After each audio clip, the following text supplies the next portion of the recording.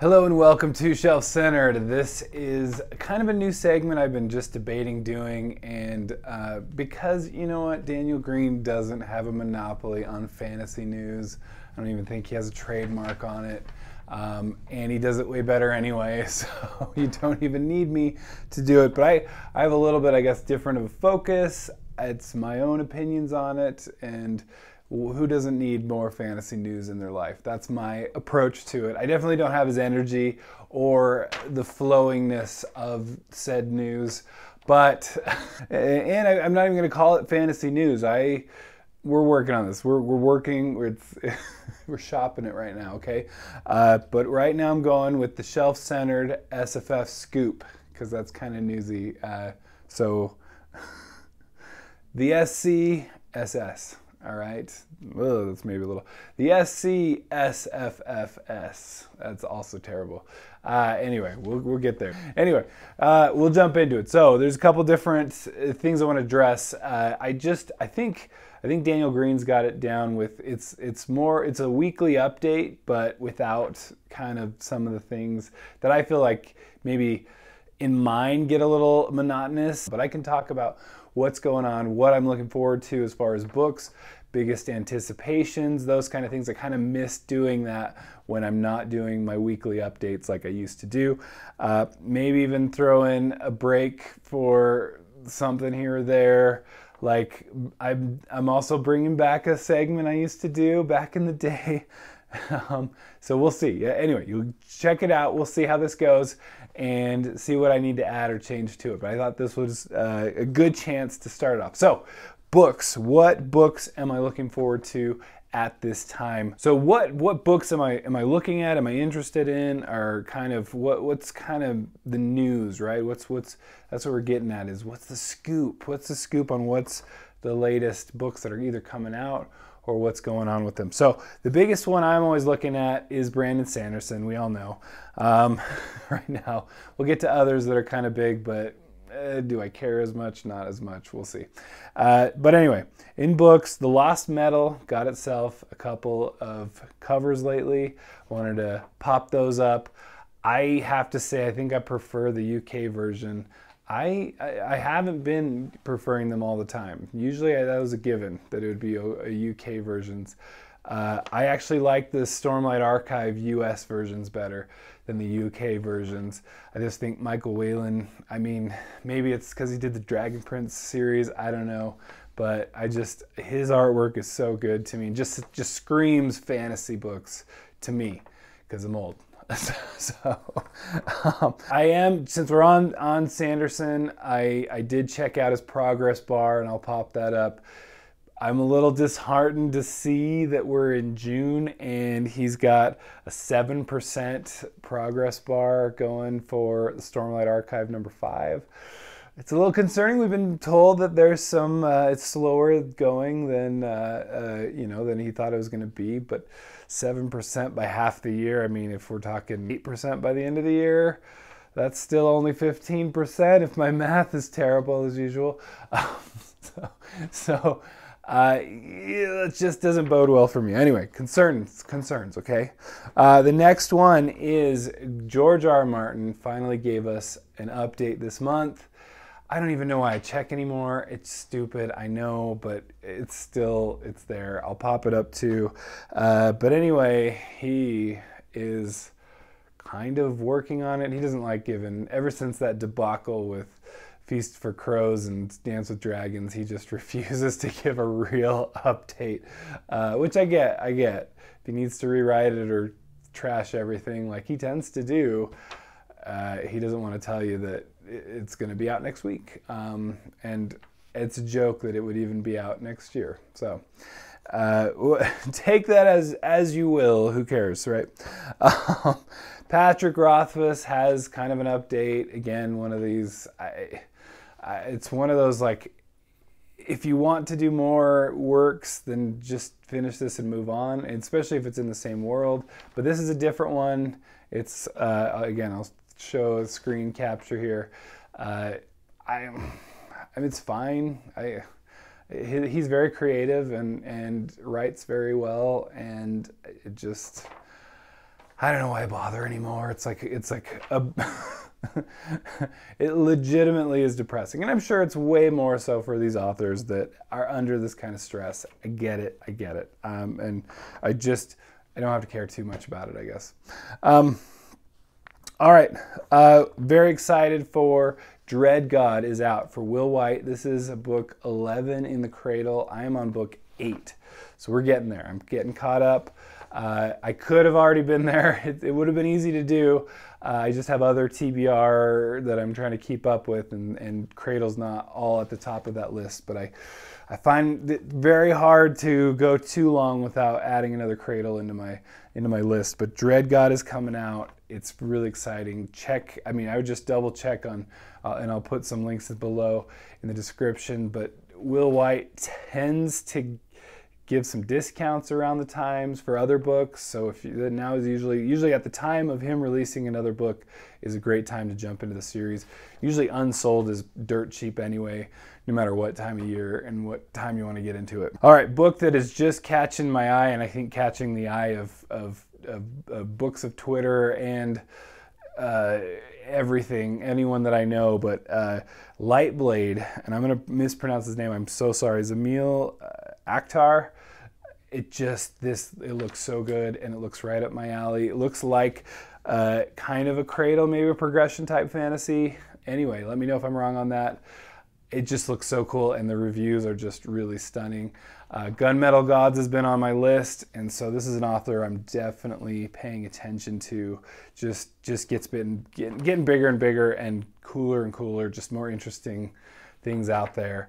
Uh, very exciting. This is one, this is an author that I have been meaning to read for some time. There's the Eli Monpress series uh, that she has, but Rachel Aaron, uh, the last, let's see, The Last Stand of Mary Goodcrow, just another new series from Rachel Aaron, and I just, I keep hearing such great things. It's, just, it's a matter of time before I read her work. So uh, that one looks good. Maybe that's a good place to start. Probably not, since I'm already in the middle of a million series. I might as well go to one that's actually completed, which I believe Eli Monpress series is, and I just hear great things about that. All right, then the last one I wanted to throw out there was Sons of Darkness by Gaurav Mohanty. I, uh, look at it. It looks cool. Look at the description. I'll let you do that. It just it looks really exciting, and I, I again this popped up on Twitter, and I can't say I'm I haven't already fallen for it. So that looks great to me. That's my kind of book update, uh, like anticipated books, what's going on in the book world for the big ones. Uh, anyway, those are what I'm looking at and interested in right now. Let's take a break, okay? All right, today in mispronouncing fantasy names. This is what I'm bringing back here. Mispronouncing fantasy names. We've got Bauchalane. Bauchalane. Bouchalane? No, Bauchalane. Bauchalane? Bauchalane? Anyway, where's it from? You know it. I already know you know it. Um, let me know how badly I mispronounced it. I told you it's mispronouncing fantasy names. That's how I pronounce it. Bauchalane. What do you, how do you pronounce it? All right. Now I wanted to get into just some media, some what's going on in the media right now.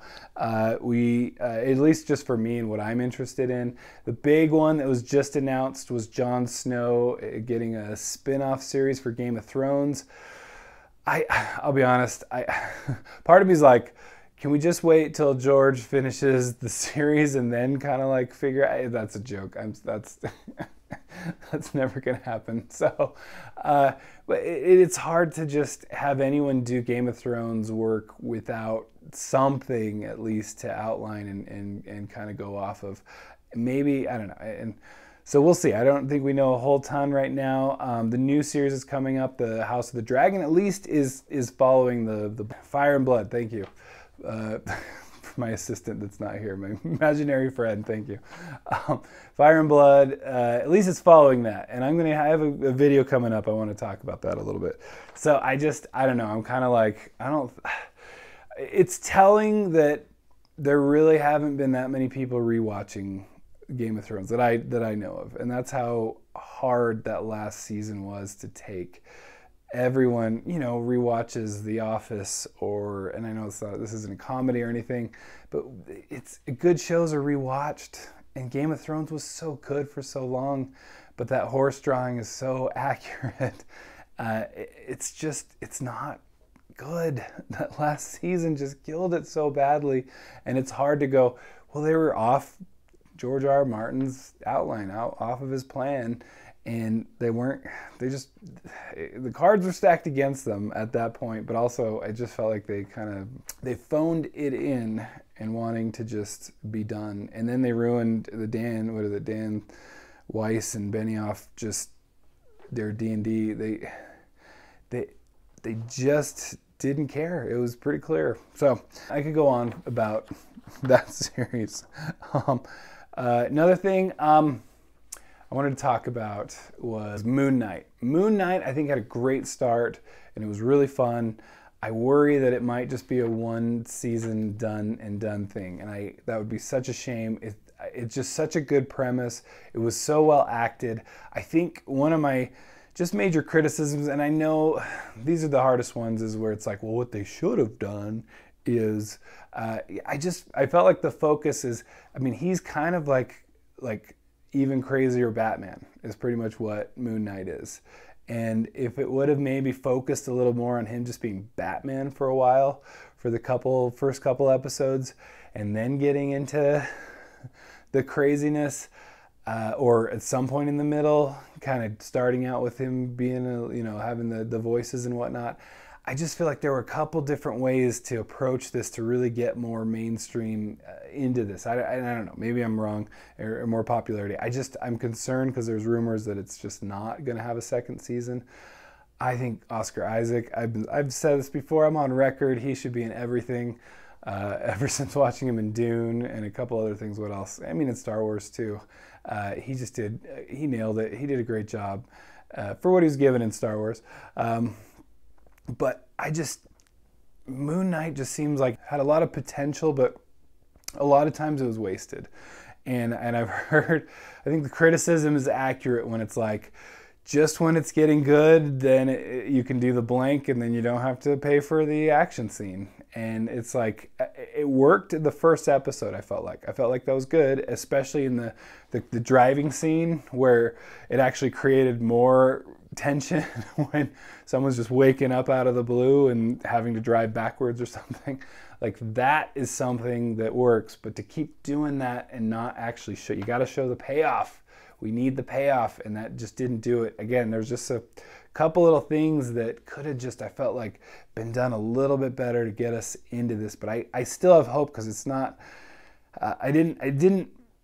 Uh, didn't drop the ball too bad uh, that, in my opinion. I thought it was fine. It just maybe has dropped the ball enough to be uh, just a mediocre series, and I worry about that. But I, I really enjoyed a lot of parts about it, about Moon Knight, and just the character in general.